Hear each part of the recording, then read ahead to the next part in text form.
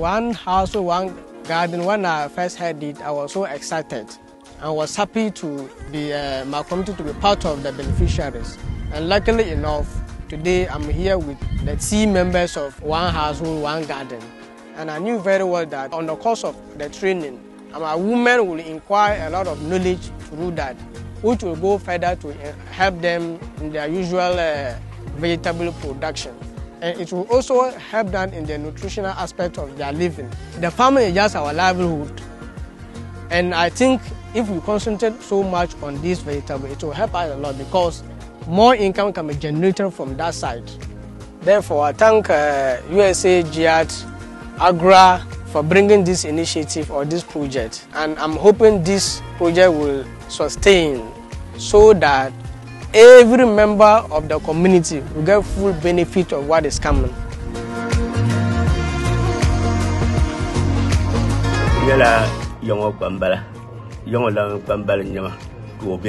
He said he is the sub chief of this community. The chief himself stays at Tamale but he is performing all his duties here. In fact, they are indeed hardship, and with this your support, he think it will help them a lot. We thank you very much for such support, and he pray in the end we shall all laugh and rejoice.